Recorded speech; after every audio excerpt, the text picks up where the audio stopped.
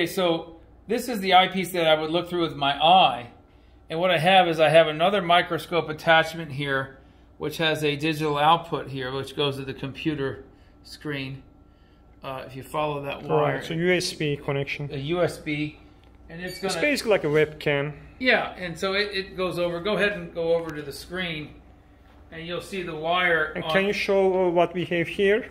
Yeah, this this is a uh, an abutment that that this is a microscope. This is an adapter that goes around the original eyepiece, and this microscope butts up into it. I don't want to And move then it there's a 'cause it took focusing ring there, right? There's a focusing ring right here. I can Okay. focus right here. So I'm So- going to show you the Yeah, So screen. if we look at the image over there, um, I can move the focusing ring. That would be the wrong direction. Come this way. I can slowly bring the image of the wire. You'll see it coming more and more into focus right there. Is pretty good. Is that good? Yeah, that's that's good. Okay. And then now on here, if you look at this, the distance between these bold lines is a half a millimeter. So you're going to see a a, a uh, an oil drop going between this line, this bold line, this bold line, falling down, say, without any electric field. And the time it takes to go from there to there is the time it takes to go a half a millimeter. So in other words, each one of these little squares is a, a tenth of a millimeter. So five of them gives you a half a millimeter. And so you'll find that you know it'll take on the order of seconds to go from for a, a, oil drop to fall from here to here. And uh, in free fall, if you um, So basically, uh, it's 100 micron for the uh, minor divisions, right? that's right, that's 100 right. And the bold divisions are 500 microns or a half a millimeter. Yeah, that's exactly right. And then you'll see how large our oil droplets are. Yeah, you, well, well, what will happen is when they when an oil drop falls through this grid under just gravity, it will feel a viscous force, drag force up as described in your lab manual. So by measuring its, its terminal velocity as in free fall, um, you can determine actually you can actually determine its um, uh, radius of, of the ball. Yeah, so this is your lab manual, and um, the, the the the radius of, of, of the oil droplet is given by this equation. This is simple mechanics that you, yeah, you've already basically, studied. uh, basically, the formula which gives us radius of the ball is called Stokes law. Stokes law uh, is a relation between the radius of the ball and the viscosity That's right. of the fluid.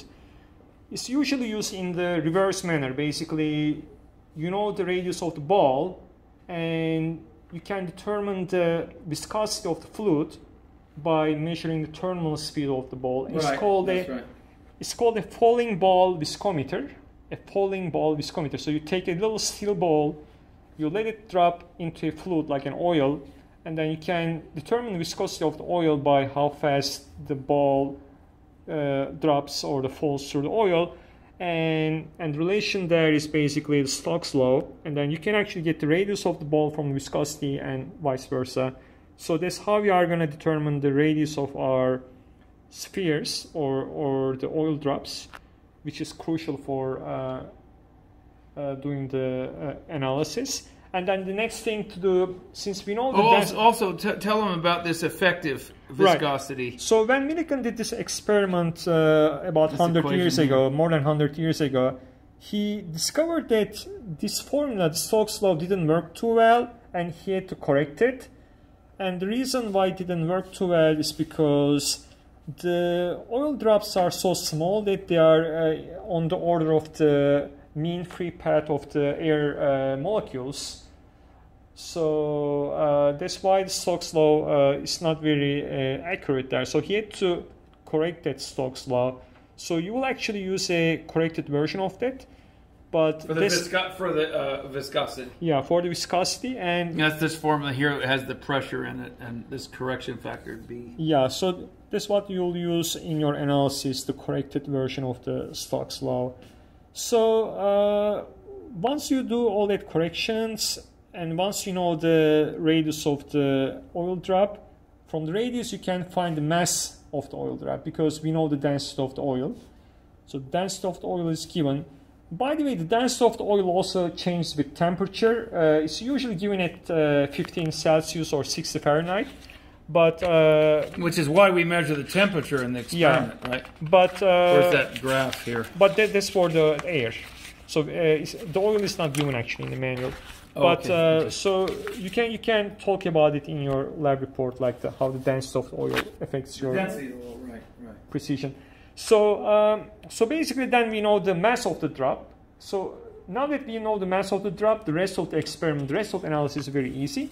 So all we need to do is to use the free body diagrams.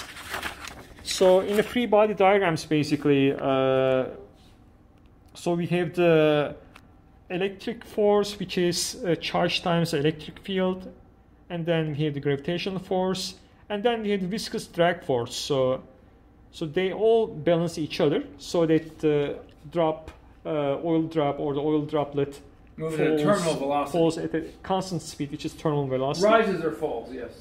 and uh, you can determine the drag force uh, basically by so we basically use uh, uh, zero electric field like no voltage so we ground the plates so that there is uh, no That's right. That's their first measurement. How, how fast does that ball drop under just gravity? under gravity and then that that equals to your uh, uh, basically drag force a- air drag because gravitation force is equal to the air drag force That's right. So how this how you can determine the constant for the uh, viscous drag. exactly. So that's the first as formula. As well as the radius of the ball. yeah, and then the second formula is basically uh, it's just a free body diagram for the gravitational field and the electric field. From there, it's very easy to determine the charge of the electron because the electric for- force is just charge times electric field, and the gravitation force is And all that algebra is in the manual. Yeah. Right. But uh, there are three steps in your analysis. The first step is to determine the radius of the uh, ball, and then you determine it from the um, basically the zero field case. Yeah. And then once you Free know fall, yeah. uh, free fall case, and then once you have that, then you know the mass of the ball, and then and then later basically uh, you can determine the charge using the final formula here. By the way, uh, you can do this experiment either with the balls or the uh, droplets rising or falling according to position of this uh, voltage switch here. So if you make the um, Bring that over to you. so I'm having a hard time focusing. The wire is Yeah. getting in the way. If you turn, make the top plate uh, positive, then the oil drop is going to rise, right? That's right. The oil drop will get the oil drop negatively charged gets sucked up to the top Yeah. plate. Yeah. So there's one way of uh, doing this experiment, and then the other way of doing this experiment is uh, turning the uh, top plate negative. top plate negative, bottom plate positive. In that case, It gets sucked down. Yeah, they are sucked down, so they go faster than uh, they would go under gravity alone. And uh, you could do it either way. Basically, uh, the only difference in the formula would be a minus sign in the final formula. So instead of the uh, that final formula is over here.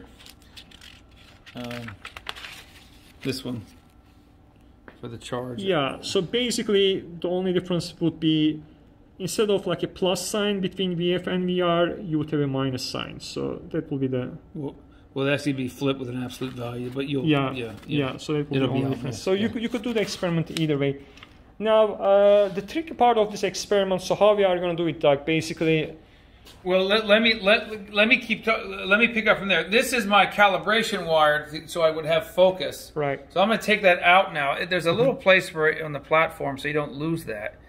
And then You, can see screw it's it threaded. You screw it in, so you can always find it. And I'll put the um, the other cap there that has the side entrance hole for oil to diffuse in, and then go down into the chamber. So that's there. And then I'm going to take my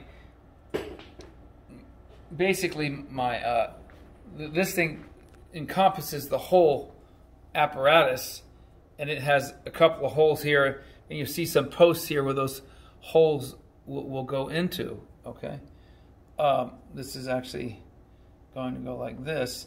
This little lens here has to point into the light. So that's one of the ways I know how to align that.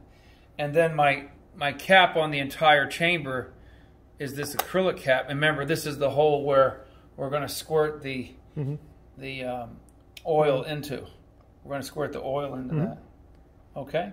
By the way, uh, it's very crucial here uh, that we need to squirt oil just a little bit. Otherwise, uh, Yeah. If you want to hear, I'll show you what you do over here.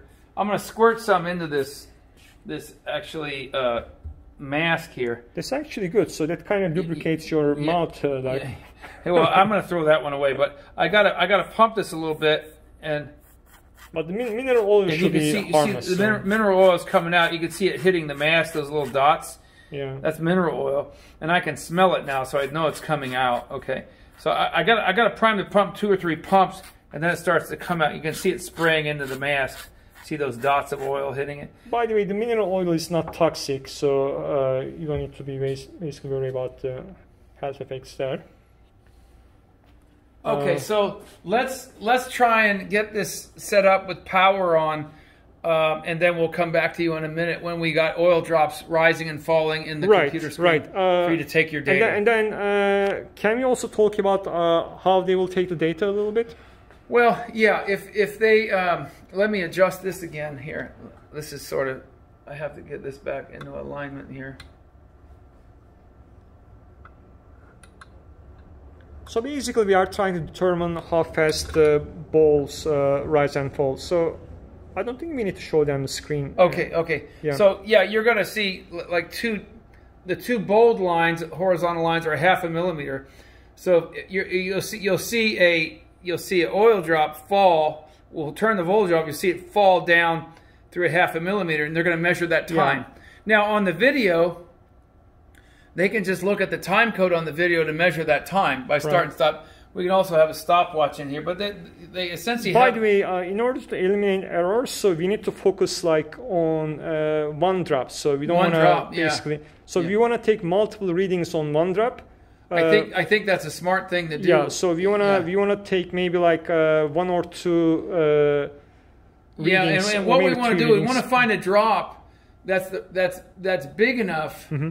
Um, so, or, or I should say, it's the right size. So it takes it takes maybe ten to fifteen seconds to exactly. fall That's, through a that's half a important. millimeter. That's, that's very important. That's very important. Otherwise, it's gonna it's gonna go down too fast or or, or, or, or rise too fast. You're not gonna be able to take the data. So yeah, so you need to find a drop uh, which takes roughly uh, 15 seconds uh, yeah, between the. to, to fall between the, the two bold lines on the Right. graph, about 15 seconds to fall through there.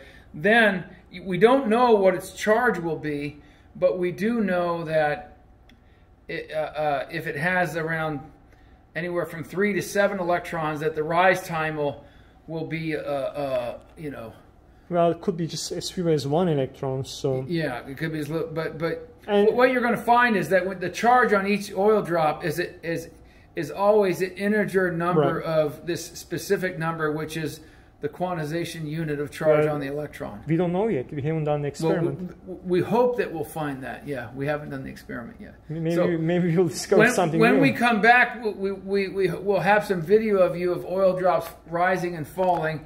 The, and the falling time will give you the, the, the, spe- the speed I mean, of the free fall. We should uh, we should Well, definitely caution students here that the goal of the experiment is not to verify uh, that the charge is quantized. Uh, that's not our goal. Our goal is actually uh, to know if this quantized or not, right? Right. So I mean, Yeah. students should regard themselves as they don't know whether charge is quantized or not, and That's they are trying to discover. Right. So you don't want to basically make it uh, work backwards. Right. That uh, you know the answer Well, already, because we, then we've lived through history, we know yeah. what the experiment should show. But, you know, our experiment we haven't done yet, it, it, it may not work. Yeah, it might not, it might not we, work. we might have systematic error in it, and we, in, in which case, uh, we're learning to be experimentalists to discover what the error is, right. So or, or uh, guess guess what the error is if we don't if we can't and we should it also again emphasize that this is a difficult experiment. So Yeah, uh, it's not- hopefully, it's hopefully it's going to work fine. By the way, uh, when you observe a oil drop, an, an oil drop falling, you might wanna at one point turn on the alpha source so that you add more electrons on oil drops. That's so right. you That's observe the same uh, electron drop but going faster. Yeah. So that's another goal. So you want to be able to observe the same oil drop with different charges. If it's possible, if, If it's possible. oil drop to hang around long enough. Then we can actually get the data for the same oil drop There is some charges. Brownian motion to the left and right, of these oil drops that we don't have a lot of control Right. over. And then the other other difficulty is uh, to show this on the computer screen, Right, which is right. also challenging. I mean, if an because- oil drop is small enough, it'll it'll be more like a dust particle in there. Yeah, when, we Uh, are, when we are trying to show this to you on the computer screen, the alignment of this microscope affects the uh, field of view quite a bit. Yeah. So, but but yes, so that's that's another goal. We want to be able to change the charge on the same oil drop If we can, yeah, if we can. so that uh, you can and actually you, get you data. want an oil drop that's big enough so that it falls straight down. Uh, well, so Yeah. uh, in that case, In I'm gonna fall. I'm going to. Uh, do you have anything more to say, Doug, or should I? no, I uh, think I think we're ready to. Yeah. Okay. I'll, I'll pause the video in that case. Okay.